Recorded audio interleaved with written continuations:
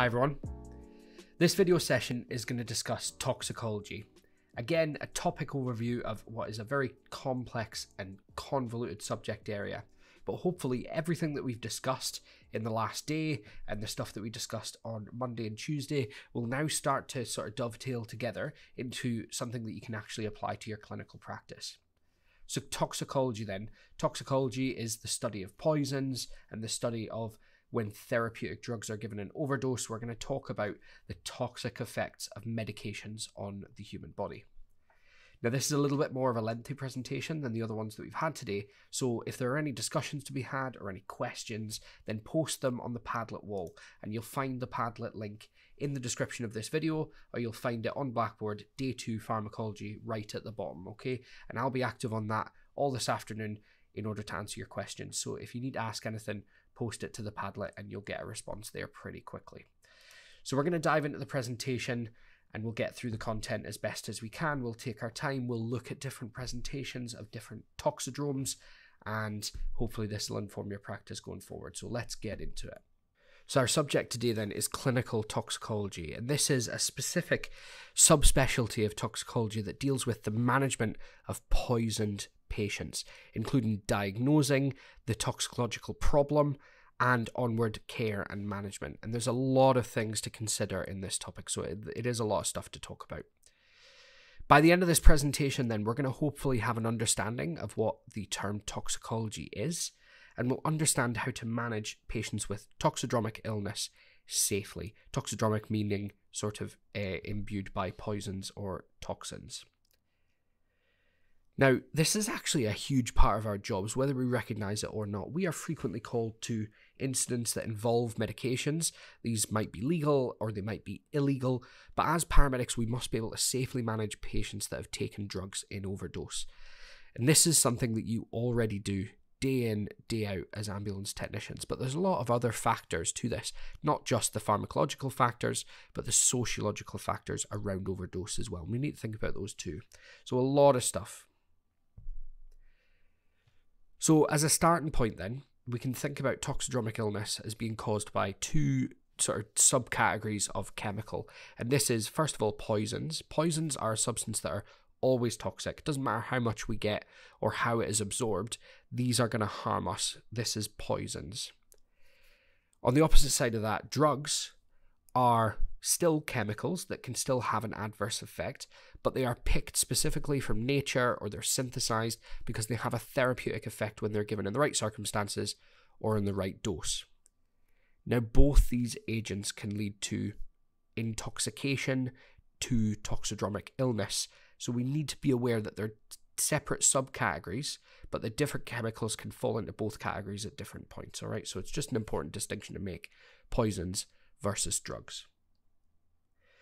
Now, before we really get into the nitty gritty of this, there's a couple of different bits of terminology that I need you to be familiar with before we can really understand it. So, first of all, is bioavailability. Now, we've discussed bioavailability already earlier on the day, and this is the fraction of a drug that actually reaches the systemic circulation. And depending on how a drug is absorbed, we know that bioavailability can vary. So, when we talk about toxic doses of certain drugs or when we talk about drugs being given in certain ways, it's going to affect bioavailability. So, certainly, if patients have overdosed on IV drugs or they've taken a drug via the IV route, we know that the bioavailability is going to be very high compared to if a drug has been taken orally or topically via the skin. This concept of half life comes from chemistry, although we're going to consider it in a strictly biochemical sense. And this is the time that it takes for a drug to, for, to go from its maximum plasma concentration to half of its concentration. This is a great measure of how quickly your body is going to either metabolize or excrete a drug. And it's particularly important when we talk about cumulative overdoses or overdoses that have happened over a long period of time.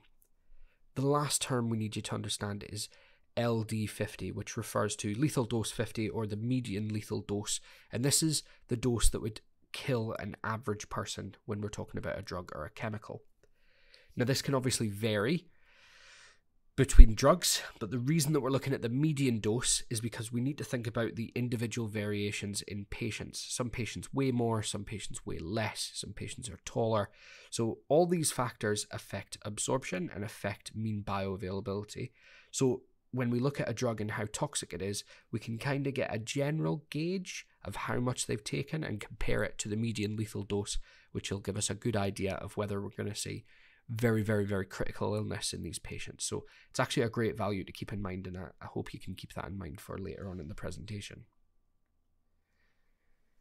Now, obviously, overdose comes in loads of different shapes and forms, like I said, with poisons or with drugs, but actually thinking about why the overdose occurred in the first place is probably where to start.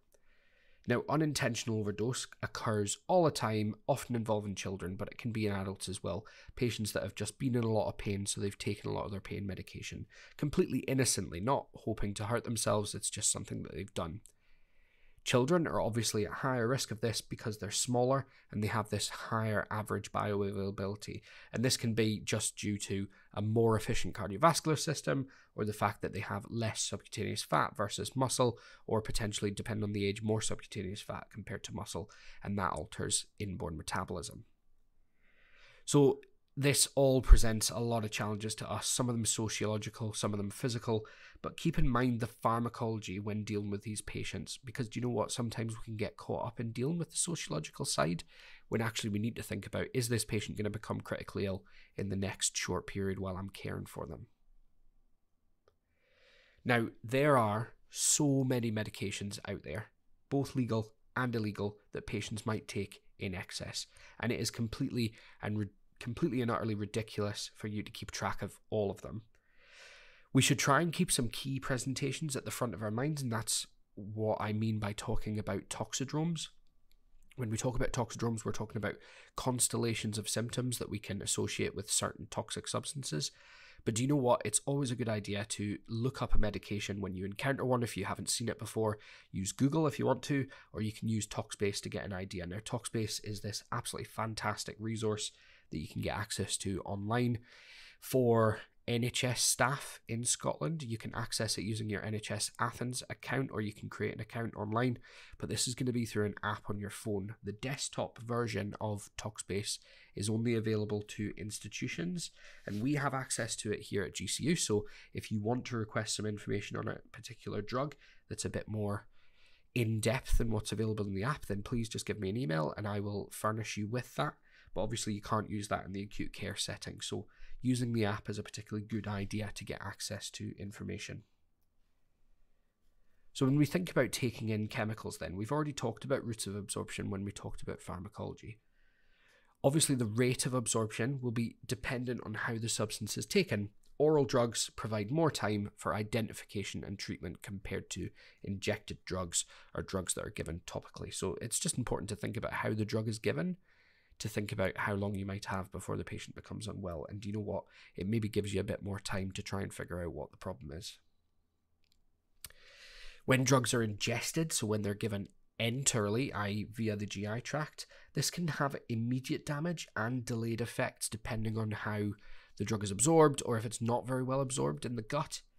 Now, I'm thinking about there are so many drugs we could think about when we talk about ingestion, but particularly I'm thinking about things like paracetamol, tricyclics, opiates, there are so many, but injury will occur with things like paracetamol, tricyclics, as long as the substance is present within the GI tract.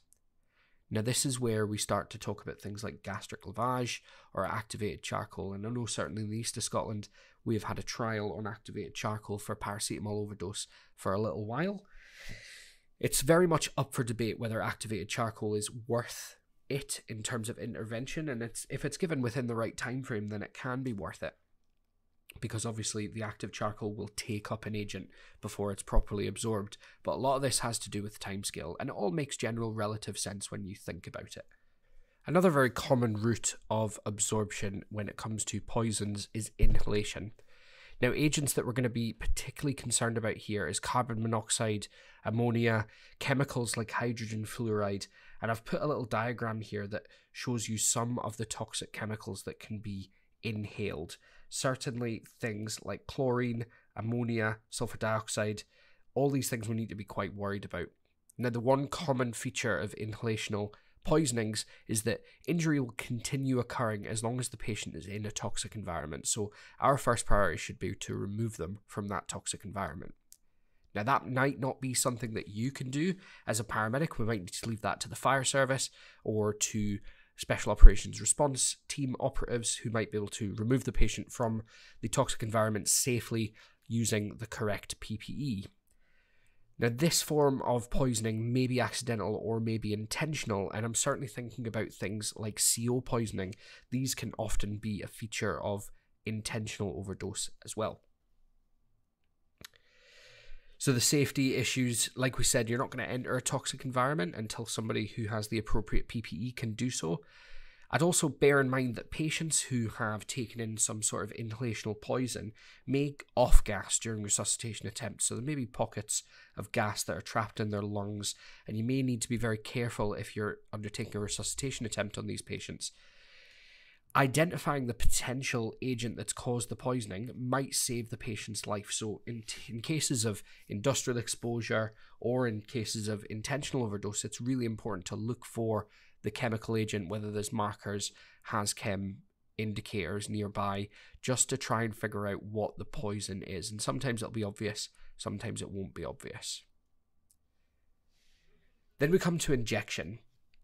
Now, lots of overdoses or poisoning may use parenteral routes of administration, and I'm thinking about IM or IV injection, but we're not always talking about your what I think typically occurs to everybody when you think about overdoses by injection, which are illicit drugs. This is not always the case. Now, things like spider and snake bites are also a type of injection injury. So, things like injection marks, stings, or bites from insects or larger animals may be a part of an injectional uh, overdose as well. So, not always the typical agents that you might think of. We're thinking of opiates and that sort of thing. Many injected venoms are neurotoxic and they can cause death quickly if left untreated. But obviously, in the UK, we're probably not going to come across this uh, very often. In fact, you'll probably never come across this in your career. But it is worth thinking about. There are dangerous snakes kept in private residences and in industrial settings or in zoos all over the country. So the patient might be able to help you here. Was it an animal or was it a syringe? Worth thinking about. Now, when we talk about toxidromes, we're talking about a constellation of symptoms that is associated with a particular chemical agent.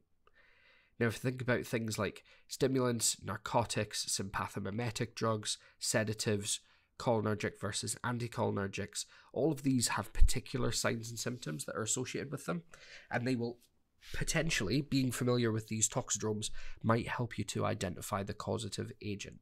So, if you think about your typical opiate overdose, People who've taken opiate overdoses may or may not have, but generally will have constricted pupils, respiratory depressions, they might have needle tracks, they might be drowsy, they might have stupor, they might be in a coma, they may be in cardiac arrest.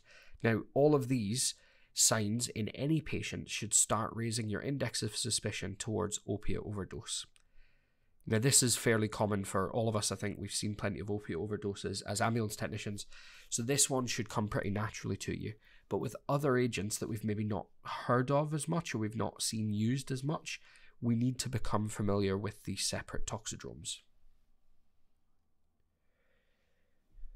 So, terminology when we're talking about overdose, we're talking about drug abuse. This is use of drugs that harms the person that's using the drugs. But there is a difference between being physiologically dependent and being psychologically dependent. So, when we're talking about drug terminology, being habitually addicted to drugs, hab- habituation, is that psychological dependence on a drug. Conversely, then, physical dependence is being physically adapted to a drug's effects. And with some drugs, we obviously can't stop them very quickly, or we can't stop them at all because drug- patients have become so tolerant to their effects. And a tolerance is this physiological adaptation to a drug's effect, i.e., its pharmacodynamic interactions. Okay, so we're now going to start talking about some specific toxidromes or some specific toxicology presentations. And we'll start with probably one of the most common presentations to pre hospital care, which is acute ethanol intoxication. Now, ethanol or drinking alcohol is an incredibly strong CNS depressant, and it has quite strong physiological effects when we take it in really large quantities. And the reason that we drink alcohol is to get a bit of CNS depression. Do you know we get a bit of euphoria, we feel a bit tired, we feel a bit drowsy, but unfortunately it's additive with other CNS depressants. So if we're taking some benzodiazepines or some opiates at the same time, not necessarily uh, taking them illegally or taking them off the street, but potentially you might be taking a prescription form of these drugs as well. It becomes additive when you take alcohol with it. Now, we're going to talk about acute ethanol intoxication, but withdrawal itself is a really challenging presentation and it's quite difficult to manage. Alcohol withdrawal it is life threatening in some cases, and occasionally you might hear about alcohol being used as an antidote for life threatening withdrawal. But in our in our circumstances, we're just going to manage the basic symptoms. And you know what? A lot of management of toxicological emergencies comes down to managing the basics. So, alcohol is really rapidly absorbed through the gastric mucosa, and peak plasma concentration is reached within 30 minutes of ingestion, which is alcohol can start affecting you pretty quickly. 30 minutes seems like a fair number. Now, absorption is delayed by food coating the GI tract. So, if you've had a big meal and then you have a drink afterwards, that absorption process is going to be impaired. But once it's been absorbed, it is rapidly distributed to the tissues. 90% oxidized by the liver, and the remainder gets excreted through your kidneys and your lungs as a gas, which is why we can smell alcohol on people's breath. Now, ethanol is not uh, metabolized by cytochrome P450. It is metabolized by cytoplasmic enzyme alcohol dehydrogenase, and it gets changed from ethanol into uh, acetaldehyde. I'm terrible at pronouncing that. With some NADH as well, and then it get, gets oxidized into acetyl CoA with some acetic acid, and then it gets excreted. Now, usual sources of ethanol are beer, wine, liquors, hard alcohol. Occasionally, you might get an acute intoxication case from things like colognes or aftershaves, mouthwashes, or particular food flavorings. But generally, we know where alcohol is coming from, and it's coming from beer and wine and liquors. Now, obviously, we don't have the facility to test for alcohol concentration levels, although sometimes you can roughly estimate them. There are apps out there for doing this, which are quite handy. We can estimate them depending on the amount of drinks that a person has had. But do you know what? Asking that question in the acute circumstance is you're not always going to get a reliable answer from witnesses or from the patient themselves. Now, of less than 50 milligrams per deciliter patients are often asymptomatic. I'm not going to go through all of these, but over 500 milligrams per deciliter can cause respiratory depression and death. And the problem with acute ethanol intoxication is once somebody has drank alcohol and it's been absorbed, there's no antidote, there's no obvious reversal agent like there is with opiates. So once we get to the sort of stupor coma level, it's all about supportive care. Now, ethanol has a variety of systemic effects. It does depress your myocardial tissue at high doses and it causes this systemic vasodilation. We know that alcohol causes you to undergo diuresis, so your renal system will become more active due to inhibition of ADH secretion. You might get some gastritis. We can talk about hepatitis and acute pancreatitis as sort of symptoms of longer term alcohol abuse. Potentially, if patients become respiratorily depressed, they might have a bit of aspiration. And in terms of metabolic effects, often patients who have acute ethanol intoxication are going to be hyperglycemic. The NADH production from ethanol metabolism impairs gluconeogenesis, and that means that potentially lactate isn't converted to pyruvate, and you may end up with a metabolic acidosis and occasionally, with extreme cases, you may end up with rhabdomyolysis. This is from immobility. Now, the key take homes for acutely intoxicated ethanol patients are to treat the ABCs, supportive care, make sure that they have a clear airway, ventilate them if required, and transfer them to hospital. If their GCS is less than 10, this puts them into a massive risk area. So, in terms of risk prognosticating these patients, it's quite tough to do that but patients who have a GCS of less than 10 are in significant danger. Be aware of coexisting injuries or of diseases that might exacerbate their ethanol intoxication and try as best as you can to manage behavioral disturbance gently. And this is tough. People who are intoxicated are tough to deal with. Nobody likes it. I would encourage you to try and be as gentle as you possibly can. And again, this is not about being patronizing. I know you guys do this already, but do think about the physiological processes that the patient is undergoing because it is quite easy to write off a drunk as a drunk when actually we need to think about what's going on and why are they acting the way they're acting. Tough presentation, tough patients to treat. So, on the other side, then, is stimulant, stimulant poisoning. Now, some examples of stimulants might be things like cocaine, methamphetamine, amphetamines, uh, bath salts, which are really common in the UK at the moment. This is methcathinone. Now, cocaine causes addiction really quickly. It's a synthetic alkaloid, local anesthetic used for sometimes, but it's a CNS stimulant and it is very quickly absorbed across membranes. Amphetamines, methamphetamine, and methcathinone are peripheral and central sympathomimetics. Now, they have really complex uh, pharmacokinetics and pharmacodynamics, but they're agonists on these two receptors, TAAR1 and GPCR, which is really important regulator of brain monoamines. And these are chemicals that are responsible for normal neurotransmission. So that's why we have their stimulant effects. So amphetamines and other sympathomimetics, and we're putting the sympathomimetics in the stimulant category, produce both peripheral and central effects. Complications from stimulant poisoning are hyperthermia, we call that malignant hypothermia, hypertension, cardiac dysrhythmia, ischemia, occasionally acute aortic dissection, and intracranial hemorrhage. Now, small doses in the intolerant, so people that haven't had stimulants or amphetamines before can produce significant toxicity, especially in children. And again, this is this whole low mean body weight, and we'll talk about one pill kills later on in the presentation. Now, we need to aggressively manage these patients. And when I talk about aggressive management, I mean good ABCs, rapid transport to hospital, and if they require sedation, then we need to sedate them. Now, that isn't always an option for us, although obviously with agitated delirium, using some midazolam may or may not be in scope of practice, depending on where you work or your local guidelines. One option we do have is to use a pre hospital care team or a critical care paramedic to sedate these patients, and sometimes that is the better option in terms of their ongoing management. Now, MDMA and bath salts, uh, cathinone, can cause life threatening hyponatremia, which results in seizures as well. We need to be ready to manage these seizures as and when they occur. Quite important to mention with stimulants is the potential for stimulant poisoning to cause acute coronary syndrome. And this is distinct from the MI that might occur due to atherosclerosis. This is due by uh, due to coronary vasospasm or acute dissection because of critically high blood pressure. So we can't thrombolize these patients because obviously they don't need thrombolized. They don't have plaque that is blocking their coronary arteries. So we need to resolve the vasospasm. So these patients require benzodiazepines and rapid transport.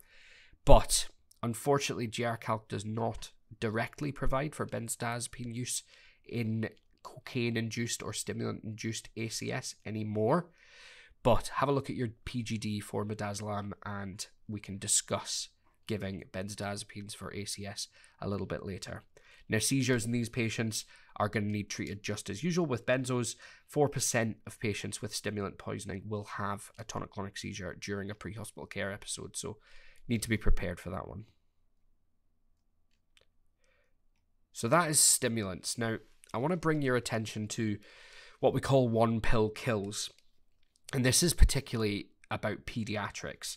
And this is a great resource that came from Don't Forget the Bubbles. Now, Don't Forget the Bubbles is an online, free, open access medication resource, and I really, really suggest that you go and have a look at it because it has some great stuff, particularly to do with pediatric care.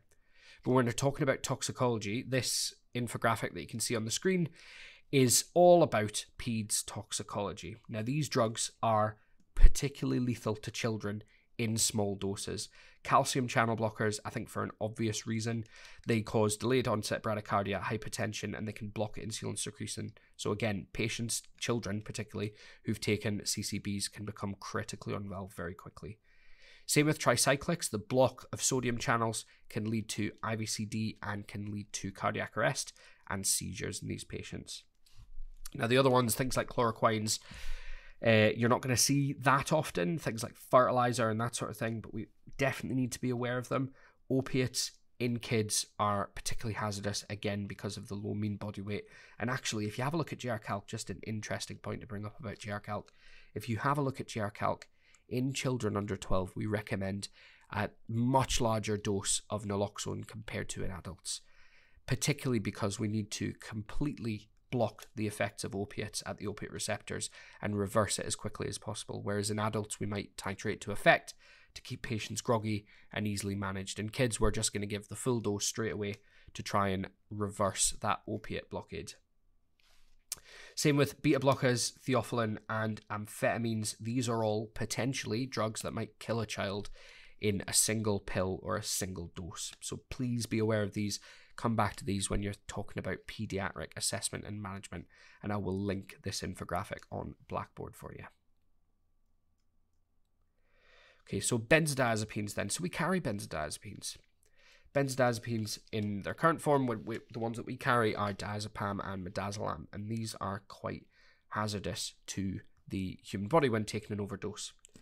Now they're quite simple. They enhance the uh, inhibitory neurotransmitter GABA by increasing the opening opening frequency of chlorine. All right, and mainly they act on these GABA receptors. And we're talking about diazepam, lorazepam, midazolam.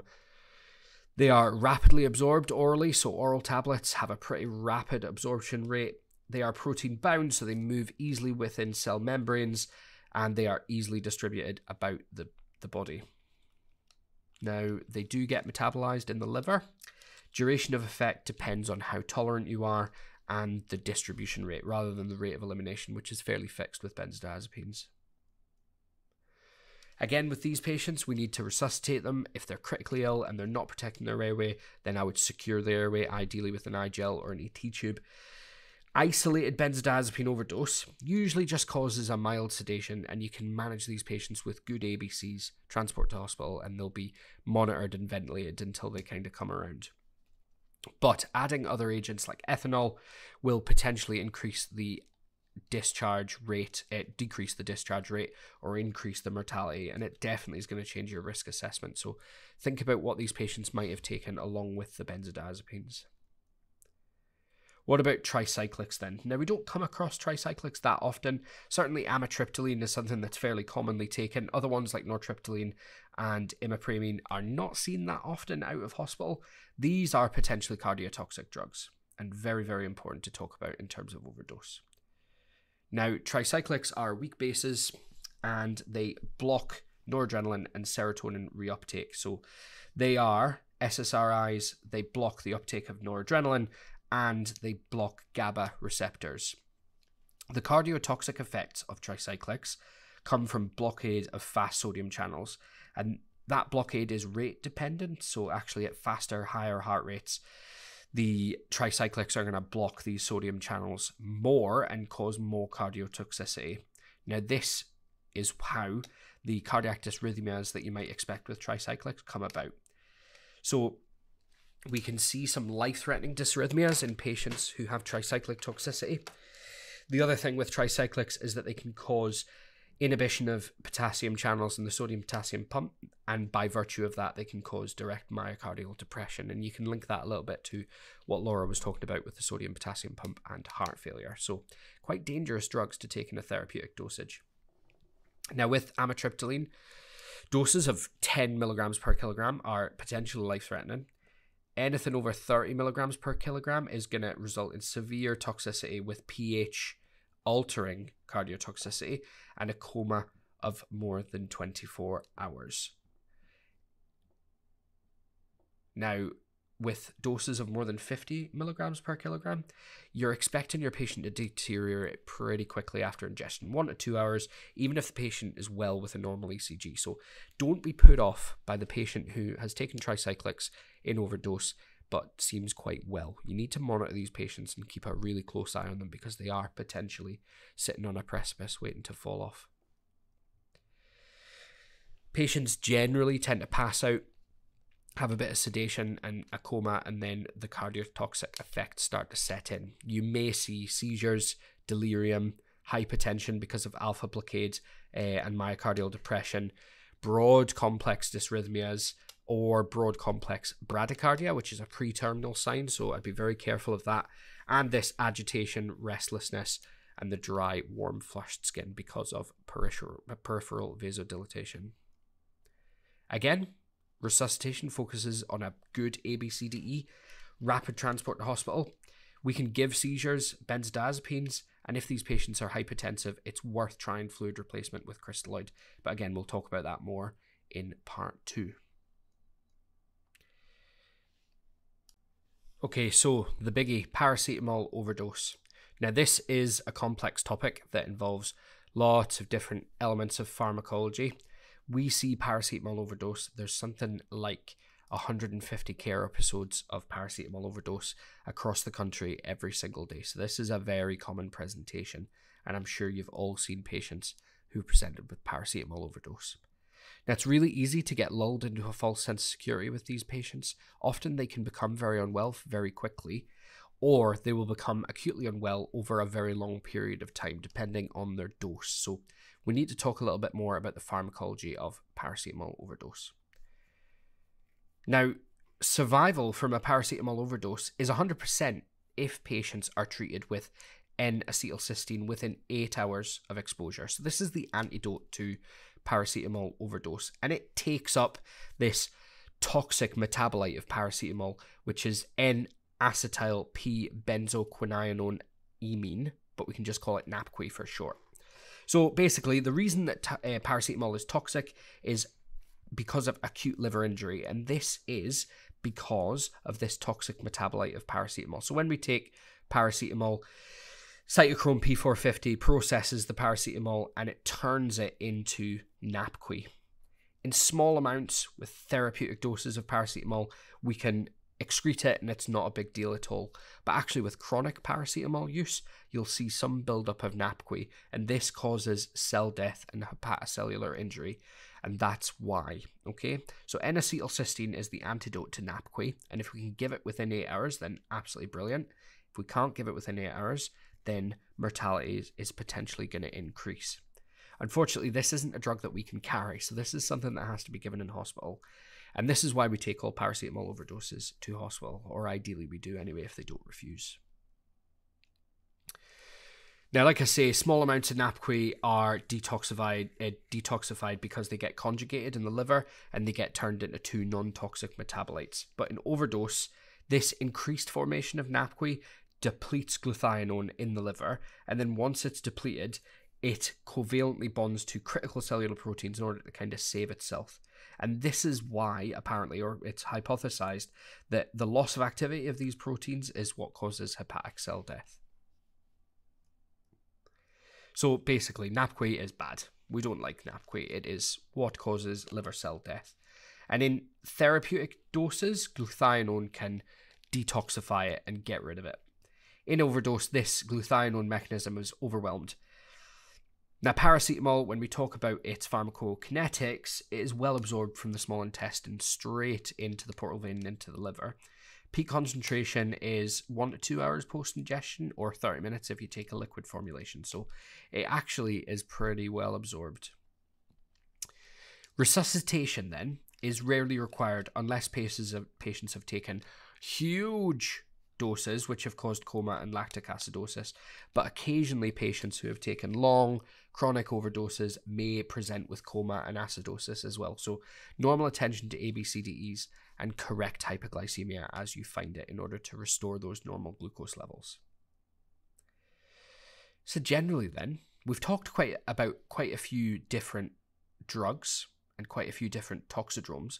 But actually, the only overdose that we can specifically reverse pre hospital is that of opiates. Now, I am not saying that the only overdose we can reverse pre hospital is opiates, so we don't need to care about the other toxidromes because part of our job is being a bit of a diagnostician and finding out what the cause of the injury or illness is and finding the correct toxidrome and identifying the agent of overdose is very important. We have a huge privilege in the pre hospital arena of having access to the scene and to information that the hospital doesn't necessarily have. So capitalize on that and try and identify the causative agent before you get to hospital.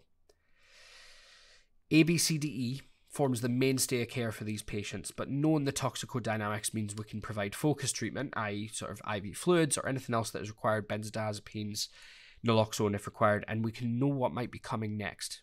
Is the patient going to deteriorate, have a seizure, going to cardiac arrest? This is important information that we need to know at this level. So, thank you very much for listening to me. That was a lot of chat, and unfortunately, there are other better resources out there. So, I'm going to link some additional resources on GCU Learn for you to read or to listen to about toxicology, and in specific, a podcast by the Resus Room that is absolutely fantastic when it talks about tox- toxidromes. They do a much better job of this than me. If you have any questions, please feel free to post them on the Padlet wall, uh, and I'll get back to you as quickly as I can. So, thanks very much for your attention, guys, and I will speak to you later on.